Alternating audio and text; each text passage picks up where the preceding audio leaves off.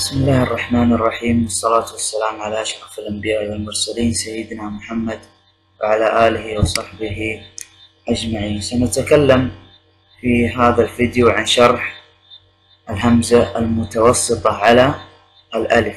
الهمزة المتوسطة على الألف الرسم الإملائي أولا نأخذ كلمة رأينا.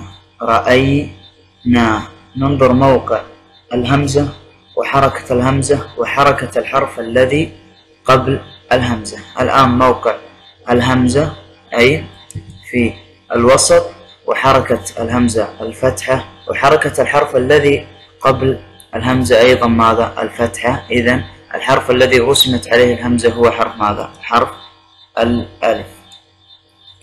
في البدء يجب أن نتذكر أن أقوى الحركات هي الكسر ويناسبها الياء وتليها الضمة ويناسبها الواو ثم الفتحة ويناسبها الألف.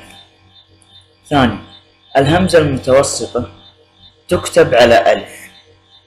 في مواقع تكتب على ألف إذا كانت مفتوحة وما قبلها حرف مفتوح أو ساكن. إذا تكتب على الألف إذا كانت الهمزة الهمزة نفسها مفتوحة وما قبلها حرف حرف مفتوح أو ساكن. اثنين أو إذا كانت الهمزة نفسها ساكنة إذا كانت الهمزة ساكنة بعد حرف مفتوح تكتب على الألف. إذا كانت الهمزة ساكنة بعد حرف مفتوح تكتب على الألف. مثل ما هو موجود عندنا تذكروا أن الهمزة المتوسطة تكتب على ألف. الهمزة ماذا؟ المتوسطة. الهمزة المتوسطة أي في منتصف الكلمة تكتب على ألف. أو واو أو ياء أو مفردة على السطر. عند كتابة الهمزة المتوسطة يجب أن نلاحظ حركة الهمزة وحركة الحرف الذي قبل الهمزة فترسم على حرف يناسب أقوى الحركتين. إذا أقوى الحركات مثل ما أسلفنا سابقا أقوى الحركات الكسرة ويناسبها الياء ثم الضمة يناسبها الواو ثم الفتح يناسبها الألف. نقرأ. الكلمات المنو... الملونة جزئين جزئين وتأخذ. ويتألف. كلمة جزئين وتأخذ. أجد أن الهمزة المتوسطة كتبت على ماذا؟ كتبت على ألف. وتنبه إلى حركة الهمزة وحركة الحرف الذي قبلها في المثالين. ألف في المثالين. ألف و وباء جزئين حركة الهمزة. جزئين الفتحة حركة ما قبلها السكون الحركة الأقوى الفتح. الحرف الذي يناسبها الألف. بما أن الحركة الأقوى هي الفتح فالحرف الذي يناسبها الألف.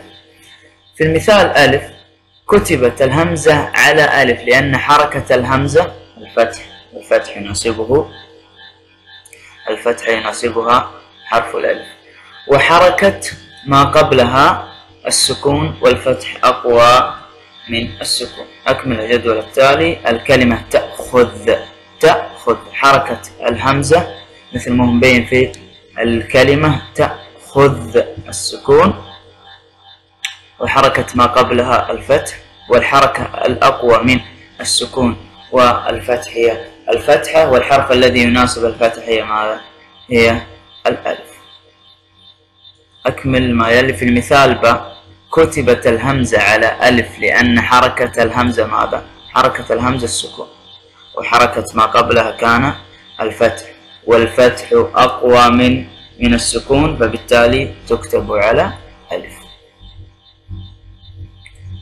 ولاحظ أن حركة الهمزة في المثالين السابقين إما الفتح أو السكون مثل ما أسلفنا سابقا أن الهمزة المتوسطة تكتب على الألف. إذا كانت الهمزة نفسها مفتوحة وما قبل حرف مفتوح أو ساكن أضع على الألف. أو كانت الهمزة نفسها ساكنة لكن أتت بعد حرفين حرف مفتوح. ولاحظ رسم الهمزة في الكلمات التي كتبت باللون الأحمر في المثال في المثال جيم. أجد أن الهمزة المتوسطة. المثال جيم كانت عندي الكلمة الكلمة هي يتألف يتألف.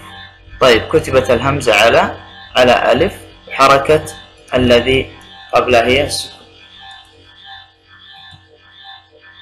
عفوا هي الفتح. طيب يتألف. حركة الهمزة نفس الهمزة. حركتها ماذا؟ يتألف.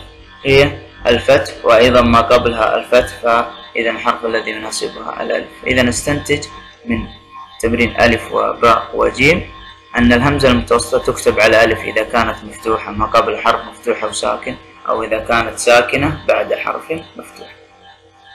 في المثال جيم اللي هو كلمة يتألف كتبت الهمزة على ألف. كتبت الهمزة على ألف لأن حركتها الفتح وحركة ما قبلها أيضا ماذا؟ الفتح والفتح يناسبها الفتح يناسبها الألف. طيب الهمزة المتوسطة إذا نستنتج من هذا الكلام هنا نحط الفتحة يناسبها الألف. الهمزة المتوسطة ترسم على ألف في ثلاث مواضع. الهمزة ماذا؟ الهمزة المتوسطة ترسم على ألف في ثلاث مواضع. ساكنة بعد فتح. ساكنة الهمزة نفسها ساكنة. أو مفتوحة بعد ساكن أو مفتوحة بعد فتح. الصلاة والسلام على أشرف الأنبياء والمرسلين. هذا كان درسنا لهذا اليوم. والسلام عليكم ورحمة الله وبركاته.